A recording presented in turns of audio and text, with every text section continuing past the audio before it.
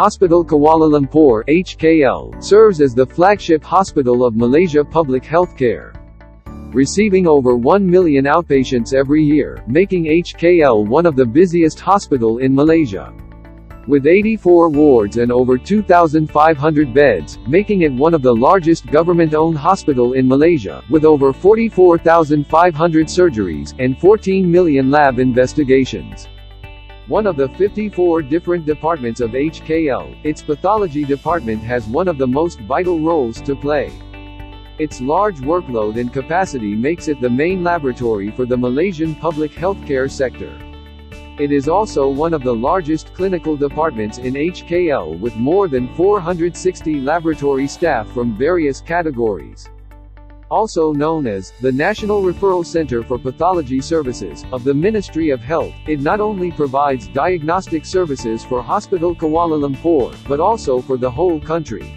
HKL's lab department is composed of a wide variety of pathology disciplines such as drug and research laboratory, clinical toxicology laboratory, hematology laboratory, histopathology laboratory, cytology laboratory, core laboratory, microbiology laboratory, chemical pathology laboratory, virology laboratory, hematology diagnostic center, anatomic pathology diagnostic center, neuromuscular and molecular laboratory, and specialist complex and ambulatory care center, SCACC, pathology laboratory. With over 9 million samples received every year, from outside clinics, and hospitals as well as from within HKL. Each and every sample will be manually marked as received, one by one. Then, the staff will have to conduct barcode labeling, and manual segregation to each pathology units. The pathology units will then proceed to register the samples. Once the units are done testing and reporting, each report is printed for hard copy distribution. These reports are segregated to each ward, clinic and hospital respectively. Now, introducing the new Laboratory Information System LIS. This integrated system will ensure all process are digitalized and centralized. Nurse collects sample at ward or clinic, and labels the sample with the pre-printed barcode. The sample is then registered into Doctor2U LIS by keying in patient details,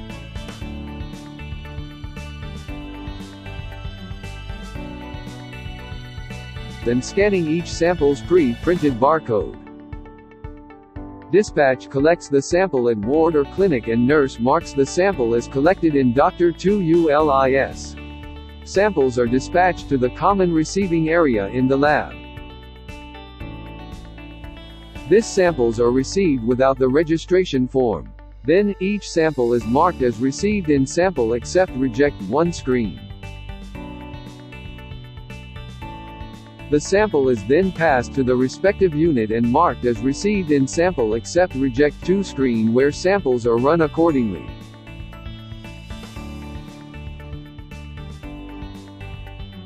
Once the results are out, the lab personnel will enter result if required and verify them in Doctor2U LIS.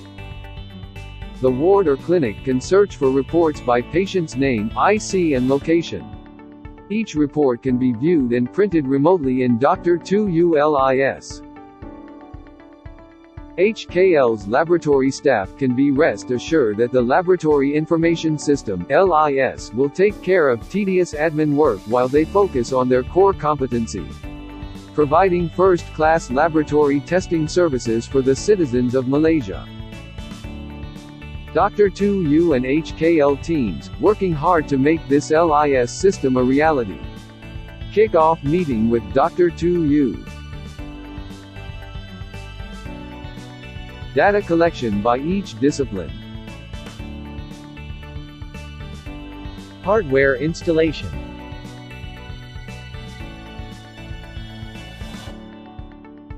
Steering meeting.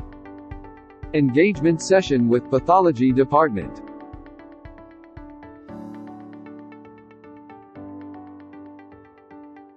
Pre-UAT